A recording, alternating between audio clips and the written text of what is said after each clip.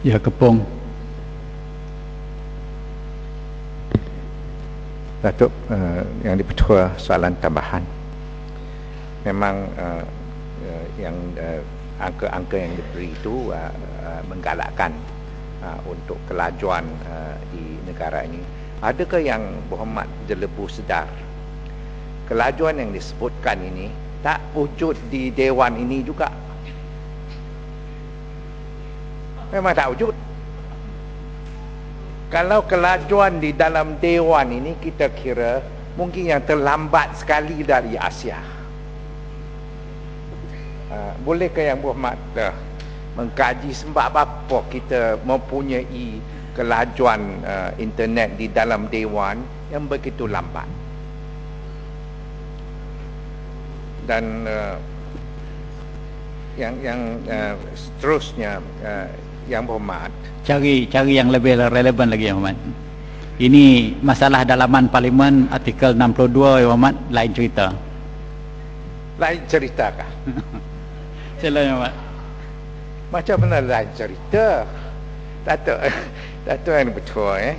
Dan uh, seterusnya mengenai itu uh, jalur lebar kita uh, pada satu ketika uh, pihak kerajaan uh, hendak uh, memperluaskan penggunaan jalur lebar di dalam bandar misalnya um, dan juga di, di, di, di luar bandar, di dalam bandar. Um, dalam segala tak silap saya pada tahun 2015 ke atau macam tu status peratus jalur lebar. Apakah tahap penggunaan jalur lebar sekarang di dalam bandar dan juga di luar bandar? Dan um, dengan adanya kelajuan kita ni memang uh, uh, uh, godaman pun akan bertambah juga. Dan bagaimana yang berhormat dapat itu mengesankan ini 90% godaman ini datang daripada luar negara sendiri dalam negara sendiri. Uh, dan apakah peruntukan yang diperlukan untuk memperelakkan daripada godaman ini adakah ini bermakna kita memperuntukkan berbilion ringgit?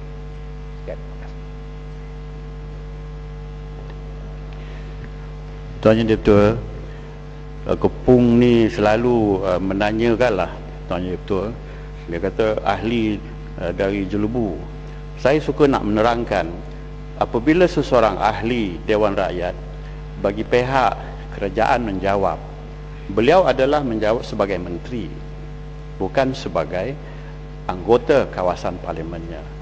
Barangkali uh, uh, Datuk Speaker uh, ingin uh, lain kali membuat sedikit pendidikan uh, kepada beberapa pihak yang sekarang suka sangat membuat sebutan sedemikian.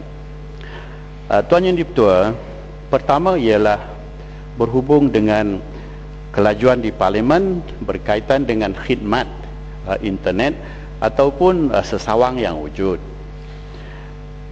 Walaupun saya tak perlu jawab perkara ini, tapi saya suka menerangkan sebagai khidmat tambahan. Iaitu khidmat di parlimen ini terserah kepada jabatan ini untuk memilih pengkhidmat penyumbang mana yang paling baik. Jadi sekiranya didapati sekarang kelajuan internet untuk Dewan Rakyat dan Dewan Negara tidak laju, pilihlah pengkhidmat yang lebih laju. Ada perkhidmatan itu dan uh, SKMM Suranjaya Komunikasi dan Multimedia tidak keberatan untuk menasihatkan apakah asas-asas utama yang harus kita libatkan dalam pembekalan khidmat seperti ini. Aspek kedua yang disoal oleh uh, yang berhormat Kepung tentang kodaman tadi, kita mempunyai dua sumber utama pertama sumber uh, cyber security di bawah Kementerian uh, Sains dan Teknologi. Kedua ialah uh, unit pengawasan internet yang ada di bawah Suruhanjaya Komunikasi dan Multimedia. Malah ketiga pun ada iaitu PDRM dan lain-lain. Tetapi dua uh, elemen kerajaan ini sentiasa bekerjasama dan membuat pelbagai penentuan menerusi uh, kajian dan juga pemantauan yang melibatkan perkakas-perkakas yang canggih dan uh, kemas kini. Jadi mereka lah yang menentukan sama ada sesuatu godaman itu datang dari luar atau dari dalam. Dan mudah bagi mereka menentukan sedemikian.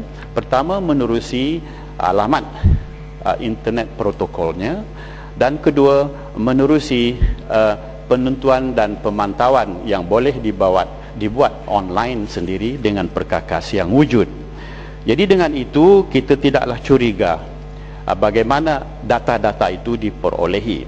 Yang harus kita curigai ialah kita mesti menaruh kesayangan kepada khidmat yang diberi oleh negara kita dan tidak wajar bagi seseorang itu menggunakan ilmu programmingnya misalnya untuk menguji atau menggodam sesuatu sesawang demi suka hati nak berbuat sedemikian. Uh, oleh kerana perkara ini sudah merebak sedemikian dan kementerian merasai penting diadakan langkah-langkah preventif atau cegahan, uh, kita bercadang untuk membuat pelbagai program mengasuh masyarakat uh, supaya lebih berhati-hati menggunakan ilmu baru dan juga kemudahan baru dalam tamadun kita ini demi survival Malaysia yang lebih utuh.